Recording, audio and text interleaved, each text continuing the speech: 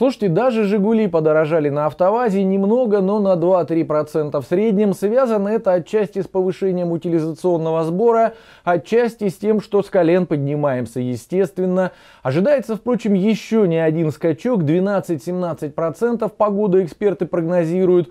Но умилило другое, как о повышении цен на российские тренд-кары, такие как Веста, Гранта и X-Ray – писали пропагандисты. До того, как отметили, например, ведомости, немецкий концерн BMW объявил об увеличении стоимости своих машин. Действительно, они вон собственные ведра переоценивают, а мы наши ласточки не можем, что ли?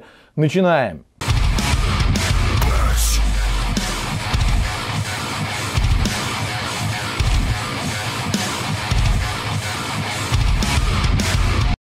Ну и ближе к народу, избирательная кампания, имеется в виду кампания по выборам президента, еще и не началась толком, а фонд кандидата Владимира Путина россияне уже успели надонатить 400 миллионов рублей, из которых 9 Владимир Владимирович умудрился потратить на агитацию, естественно. А еще, говорят, денег у нашего народа населения нет. Ну, такие обманщики, как я, об этом рассказывают преимущественно. Есть ведь. Вот и пример конкретный, пожалуйста. Это ж мы только на операцию какому-нибудь больному ребенку миллион собрать не в состоянии, несмотря на то, что все это делается посредством эфира Первого канала, скажем. А вот на благое дело, на агитацию за главного, да не жалко совсем. По сусекам подскребем, от месячной зарплаты, если надо, откажемся. Ребенку игрушку не купим, лишь бы стабильность в стране не нарушалась. Я э, уверен в завтрашнем дне, я э, горжусь своей страной, и я действительно э, поддерживаю президента, потому что, ну, собственно говоря, вижу результаты его вот большой работы, которую он ведет. Вот мы жили все хорошо, посмотрите вокруг. Хоть некоторые СМИ говорят, что у нас все плохо, ну, по крайней мере, стараются. Если быть объективным, все-таки улучшение идет вперед, вперед, только вперед. Ну, самое главное, что мир и ну, спокойствие, что ли, что нет войны. Нет, как, живем спокойно, как бы, при его политике. В совокупности же все претенденты на президентское кресло проагитировали за новогодние праздники 30 миллионов. Ну, про Путина я уже сказал.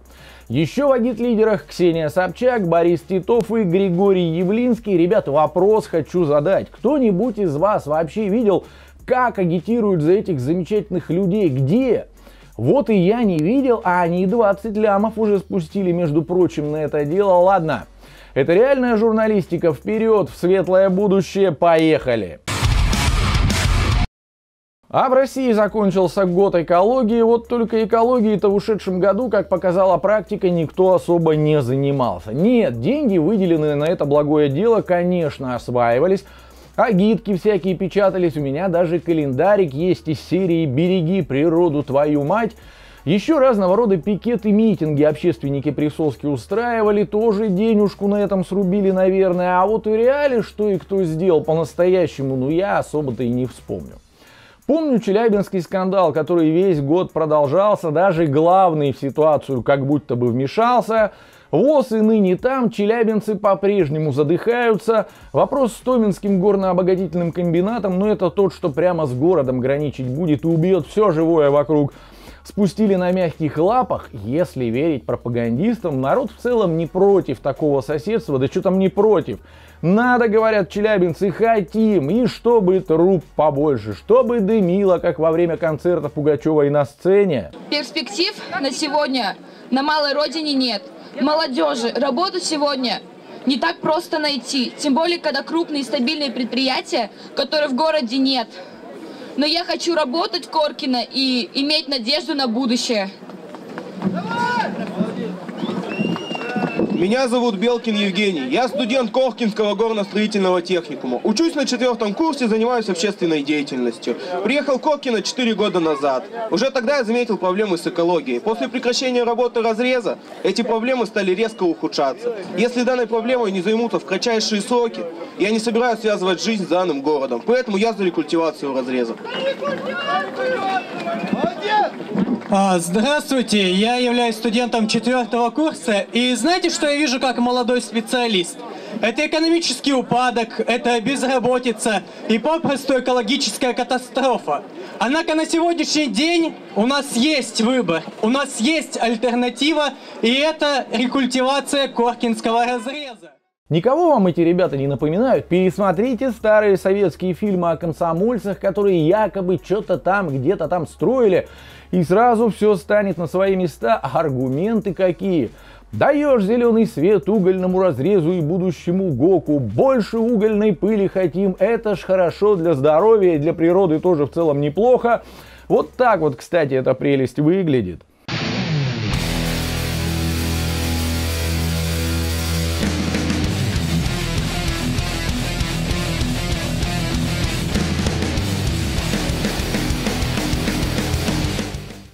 Слову, никто не хотел бы летний отпуск, например, провести в этих живописных местах. Грибочки, ягодки пособирать, они там ух мясистые, подозреваю.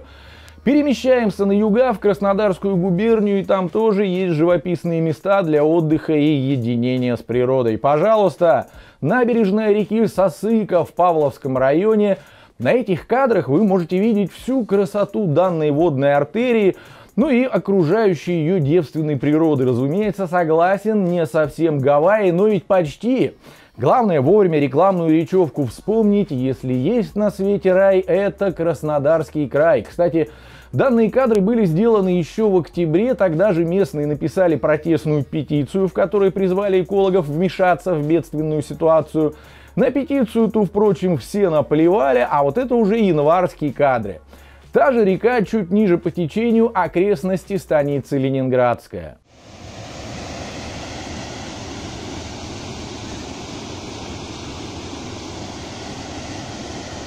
Она причем тут всю жизнь так, да?